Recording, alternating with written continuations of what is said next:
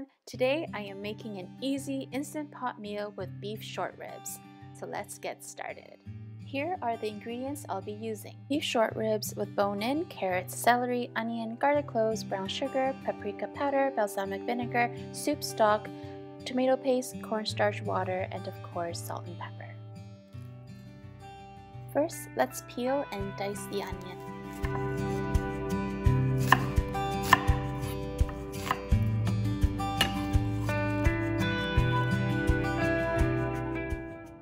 Time to chop the carrots. Since it's going in the Instant Pot, I like to cut these into thicker rounds about 3 quarter to an inch wide. You can place the carrots in a separate bowl, not with the onions. Let's chop the celery into bite-sized pieces. You can place these in the same bowl as the carrots if you wish. Once you're done chopping the vegetables, turn on the Instant Pot by setting it to saute mode. Now add a couple tablespoons of oil and wait for the oil to get hot. While the pot is heating up, generously sprinkle the salt on the ribs.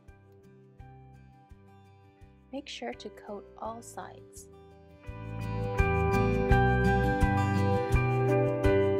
Now that the Instant Pot is hot, we're ready to sear the meat. Place 4 pieces of the beef short ribs at a time.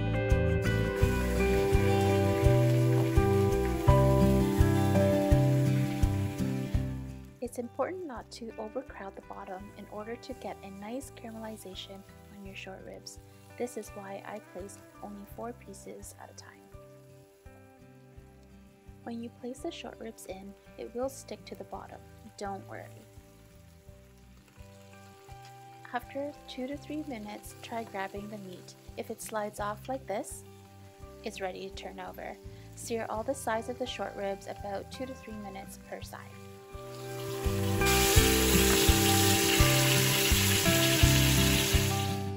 First batch is done searing, so now let's transfer the beef short ribs over to a bowl. Now put the last four pieces of beef short ribs in and sear all sides about 2 to 3 minutes per side. Now that the second batch is done, you can place it in the same bowl as the first four pieces you just seared. Now let's add 1 tablespoon of oil. If there's already more than a tablespoon of oil in the pot, you can skip this step. Gently add the onion to the Instant Pot.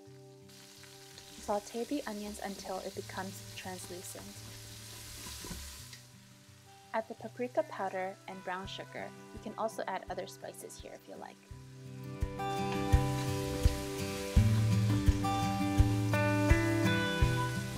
Once the onions are completely coated with the spices, add the balsamic vinegar, about 3 tablespoons. If it drips and you add a bit more like I did here, it's okay.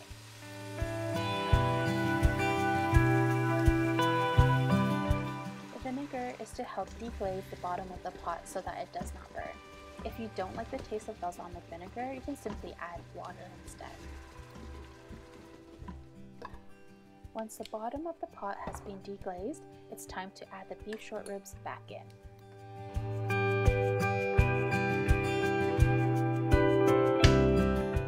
Now add the garlic.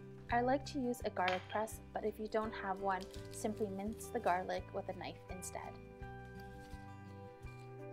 Now add one cup of stock. Beef stock would be better, but I only have chicken today, so this will have to do. Now add a can of tomato paste, but if you have homemade, that's even better. Oops, I almost forgot to add the veggies. Close the lid and make sure the knob is turned to sealing. Now set it to manual or meat mode on high pressure and adjust the timer to 45 minutes. When the Instant Pot starts beeping, it's done cooking. However, just let it naturally release for 15 minutes. If the pin doesn't drop after 15 minutes, then manually release the remaining steam by pushing the knob to venting.